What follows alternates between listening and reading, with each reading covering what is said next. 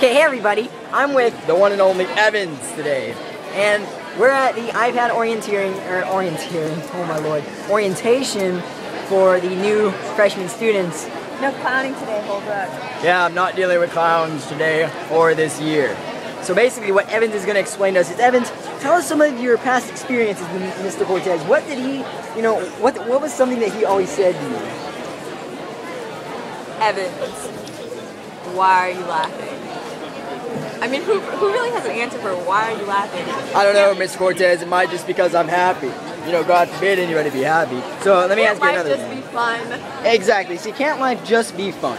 That the one and only Evens has just made the new phrase. Can't life just be fun? I like it. So, okay, in the past, you know, I had, you know, I got yelled at, and I didn't even do anything, but it was always Dominique, you know, Dominique, and then she'd always make you laugh or something like that. And Miss Cortez, Because we would all start to laugh because we had to get them goo-goo.com.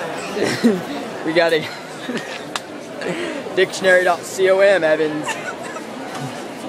All right, so I have to ask Evens another question here. Evens, do you have a summer job? No. I like the shirt. It's pretty FAD. Uh, thanks. You know, Uh, T H A N K S L O L B F F. So basically, I ask you a few more questions here. If there was one thing that you had to change about last year, would you change it? Yeah. I'd probably change friend choice and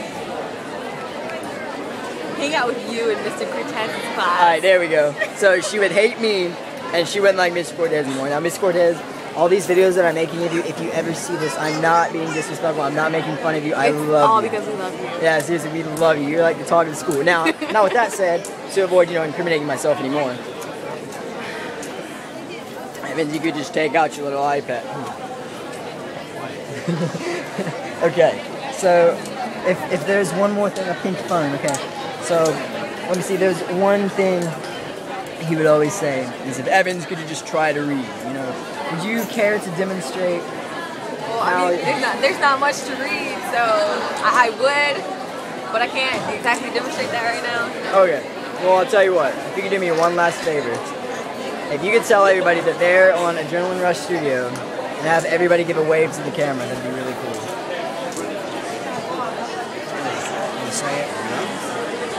Just try to pronunciate it, Evens. It's not H A R D.